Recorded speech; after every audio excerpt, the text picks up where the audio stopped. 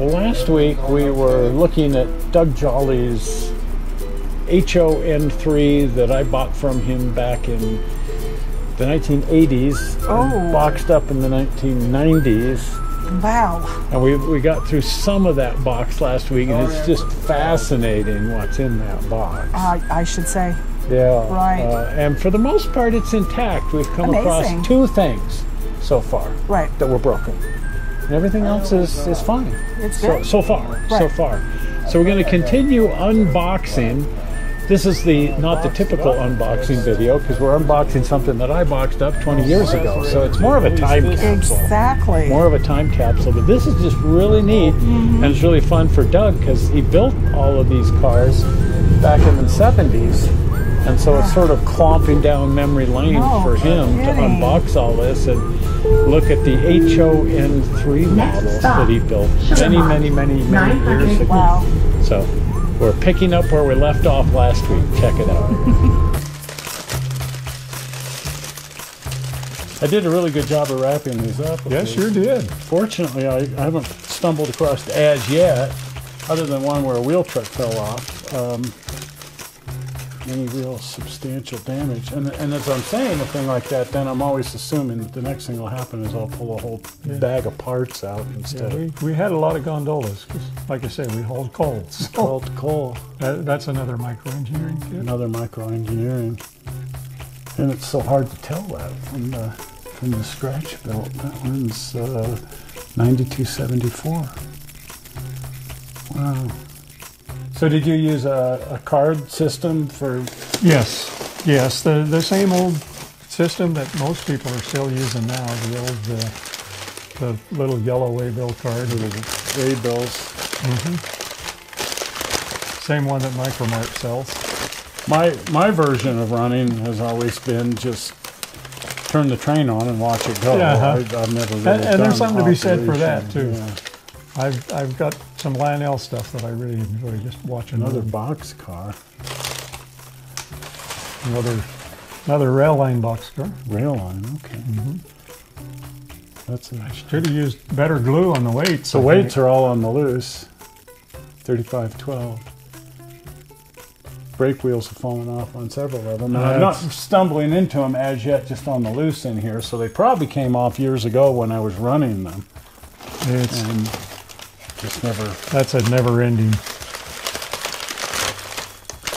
happens even in the largest scales Yeah. too. It's not. Yeah, well, it's, it's a problem even in SN3. I've been trying to find a manufacturer that that would be interested in making brake wheels out of Delrin or something that's the the cast styrene. Another box car. I like the pallets in the open door there. Yeah, another rail line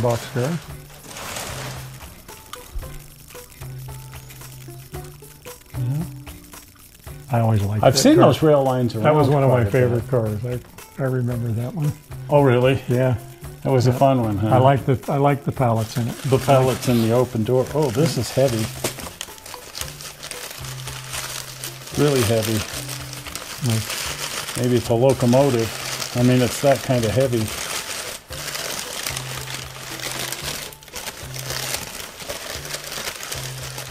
No, I think I know what this is, and I think it's something I built.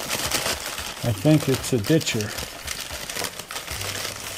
But I'm not at all sure. But whatever it is, it is really heavy and broken, as happens with really heavy, Heavy things. stuff, yeah. Or Yeah, I don't recognize that one. I recognize the model, but I don't recognize and the one that I I built. definitely didn't build this one, um, but I did build a oh some manner of ditcher. But mine wasn't broken. Yeah. Um, Oddly enough, I still have that kit. I still have an HON3 kit for that. do you? It was one of the things that I didn't sell because I always said I'm st- still want to build that ditcher someday. Well, since this is all wrapped up without a frame or anything, it must have been broken when I wrapped it up. I'm just sort of thinking. Because, uh, so I'm not sure if the frame, because there was some other stuff with it, so maybe this is the, the frame for this guy, and it is. So when I boxed it up, at least it was already In separated to at least this this extent. So uh, it's uh, it's a little bit problematic. there. It needs a it needs a little TLC and glue and. And somewhere you must have a flat car that goes with it. I did. Um, I broke the back of the black car because I like that look, so it had quite a sweat. And maybe it's in uh-huh. here, and maybe it's not. I, you know how things are. Maybe on the loose somewhere. Oh, a cattle car. A sheep car, as a matter of fact.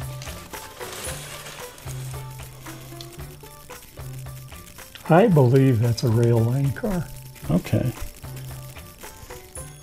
They came in kind of a plastic box, mm-hmm. didn't they? Yeah. I think The- I built a few of those, but I can't. No, the rail line came in a blue cardboard box with a white Okay, label. With that's a white right. label on That's the end. right. There was one company that came in like a plastic snap lid box. That was Tomalco, That was Tomalco. Okay, the wood kits. the wood kits.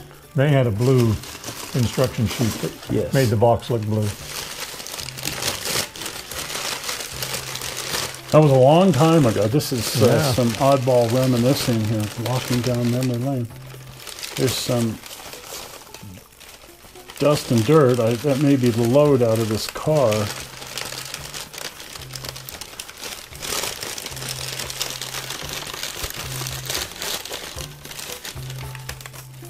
And then, not really, because it's a box car again.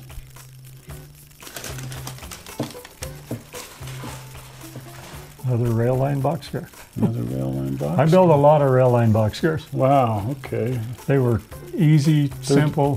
3456. Yeah. They were pretty expensive at the time. I remember they were 750. 750. Nowadays, $750. Yeah, Not quite that You know, bad, actually, they're still in production, but I think they're probably closer to twenty dollars now. Well, you know, oddly enough, that's probably cheaper if you adjust it for probably is. inflation and everything. Probably yeah. is. This, might be said flat car with the broken back. It's there doesn't seem like there's anything in here, and it is a flat car. And uh, I don't know if I built that or you built that. It looks like one I of didn't build that. That looks like the one I built for the ditcher. That- In fact, it, it is because it's got rust here from the From the ditcher bucket. bucket. Yeah, yeah, yeah. So there you go. And I never lettered it, or and it was kind of silly. It should at least be lettered. I never cared much for the Rio Grande's numbering system on the maintenance cars using the O. Yeah. Because it always looked like they were trying to spell a word to me, and the worst of that was OX. I, I didn't Yeah. want a car running around on my railroad that, That said said it was an ox. ox. Yeah. that, uh, Well, that's the ditcher that you've got. that's the ditcher, yeah. And That's that one- OX. you know, and I think this is the one I built because I numbered it because I just refused to have a car running around that said ox and it says 865, which it mm-hmm. shouldn't say. It should say ox. And I mm-hmm. remember now that I numbered it because I refused to have an ox running around on my. It doesn't look like an ox. Doesn't look like an ox. So that that answers that question. Another weight on the loose. Yeah. But this one comes out to an open door, which makes it a little easier to do something with. Is it another rail line or It's another rail line box another rail line box? You want to know what the weight is too? What's that? The weight is a carbide cutter from Eimco. Oh, okay. Back when Dear- Anchor was in the Rio Grande shops or something. Uh, well, no, a dear friend of mine was a machinist for Eimco, and so when the cutters had dulled, he he used them for car weights. So he had he ended up having a bunch of them. So he just gave a bunch of them to me too. But back then, their machine shop was It- in the Rio yeah, Grande was- back shops. Uh, yeah, they had some there, but They had some there. He actually, the shop he worked in was was the the one that they, where they built the machine muckers Oh, okay. for the mining muckers. Okay. it Almost was, to the It bottom was of the over box. on the second west there.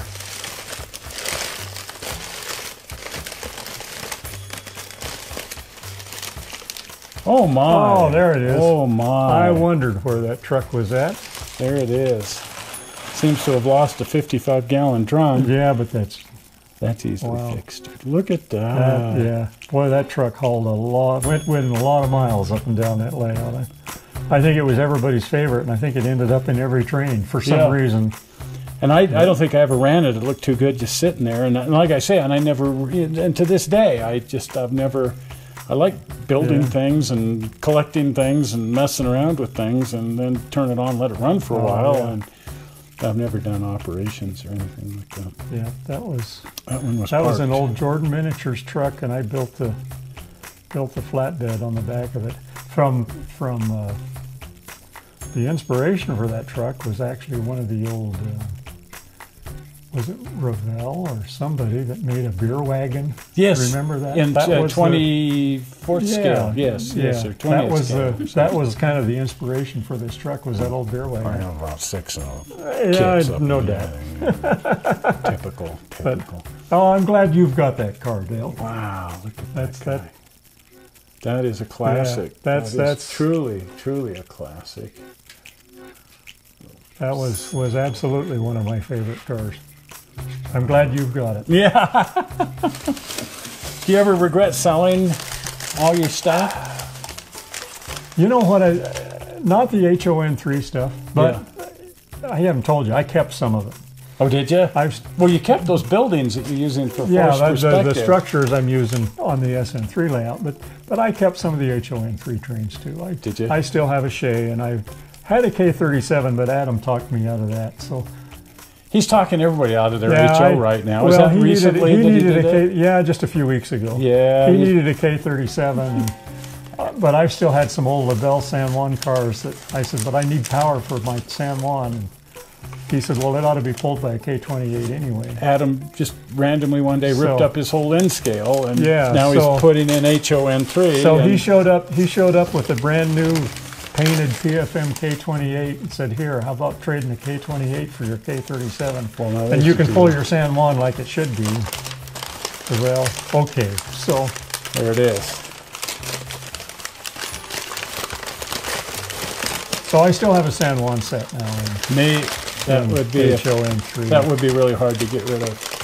Probably the only thing that I really kind of regretted selling was uh, a couple of Rio Grande standard gauge pieces, a, a K59 Mikado and a and a riveted steel caboose. 9480, another high side gondola. Like you say, you had a lot of high side gondolas. Yeah, we hauled a lot of coal. Yeah. Yeah. So the, is the coal something that you actually added, or is that just left over from operations? Well, it's Because it seems to be well in there. Yeah, it comes off. comes off. I weathered easily. I weathered the inside of the car, but but it's also been weathered with coal dust. There's a whole bunch of detritus. I'm, I'm happy to see that down in the bottom of the box. First, I'm happy to see the bottom of the box, but not really, because if we pulled out Yeah. another hundred of these, that'd be fine. But uh, I'm happy to see not a lot of brake wheels, Yeah, that's what I was gonna say. smashed Not a lot of broken or parts. loose wheel trucks, or whatever parts have come loose have just come loose. Well, you've got quite a collection going. operation. there. Yeah, I bought a lot of your stuff. Yes, you did. I did. Yes, you did. I'll. Well, by the time I heard about the sale, uh, most of it, well, a lot of it, you'd already sold. Well, I'll tell you where a lot of it went to was Stan Jennings. Ooh, Bought quite a bit of it. Stan Jennings. I have no idea where that stuff is now. Yeah, But 5717, and I just broke the brake handle on there trying to straighten it. But that's why there's glue and pliers to straighten this it and one, this it. one is actually scratch built. Really nice. So is it cattle or sheep or? Yeah, it's a, a cattle car. It's cattle. Okay. That is a handsome car. So strip wood or plastic or how did you Uh, styrene. It's evergreen yeah. styrene. I guess in this scale, you wouldn't really have to worry that much about the styrene changing dimensions. In the larger hmm. scales, especially the really large uh-huh. scales, you get the strip styrene and it just wants to, Warp. to do this. And so then you put in a thicker styrene and then it doesn't look, Look as good. it actually works better to, to use wood at that point. 5717 scratch built. That's That neat. one is scratch built. Nice. I think we're down to the last one.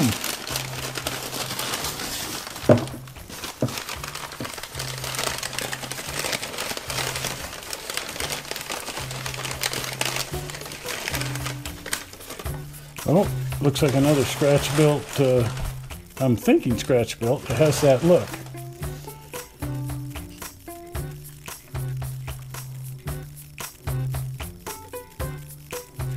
It's either that or it's a Tomalco kit. Okay. And I, I'm thinking it's a Tomalco kit. Oh, okay. Because most of the scratch building that I was doing then, I would have done it out of styrene, and this one's wood. So Okay. I'm thinking it's probably a Tomalco. kit. yeah. And actually, yeah, as I look at it, because it's wood. Got it. And this is 5312. 5312. Don't know how many of these things the Rio Grande had. Um, It's really, really they had 350, if I believe right. Of course, you would know. 350 cattle cars. They had 750 boxcars. Jeez. But the car, the one they had the most of was the gondolas. The gondolas. That makes sense. and I have no idea how many of those had. The only reason I remember the others because I know what the number series are on the Okay. cars. So Very, very that, that was interesting to see that stuff, Dale. It's been a long, long time since I've seen it. It's especially nice to see that truck again. The truck. I, I somehow I have an attachment to that truck. So Well, there you go. it was really nice to see this stuff again. Thank you for sharing. well, you're very welcome. Well, thank you. This was fun. Thank you, Dale. It's, Yeah. It was fun. It was fun. clomping down memory lane. Well, we finished going through the box. No spiders. No, and I, I don't know what we're going to do now because we don't have an HON3 rep. Well, we've only got part of a G scale, G gauge, number one gauge railroad, and we certainly don't have an HON3 railroad anymore. No. But I'm thinking a display case A display case for these. because this stuff is too neat, and I It certainly is. don't have an interest in selling it or No. anything. And it's just really fun. It's So got a a lot of history with us and Doug, and just so they're just too cool to get rid of, and so they're going to go in a really nice display case. Absolutely. So there it is. Well, anyway, if you haven't been over to the channel, pop over to the channel, and that will give you the opportunity to binge watch. Binge watch, because there's all kinds of there's there's like 500 videos. Wow. That's a lot. 500. 500 videos. Anyway, you can you can binge watch all of that, including the first half of the show of Doug Jolley's HON3 stuff and his layout, the SN3 railroad. And this is like his second SN3 railroad. That's pretty cool. That's really cool. So anyway, if you if you uh, are not a subscriber, here comes the blue button, which will make you a subscriber. You ready for it? Zoink! Right there, blue button makes you a subscriber. Well, we're not sure how you found this video on the internet, and we hope you didn't find it boring. And we will see you on Tuesday when we do some of that kind of thing. Yeah. See you then. We'll see you. Bye-bye. Bye.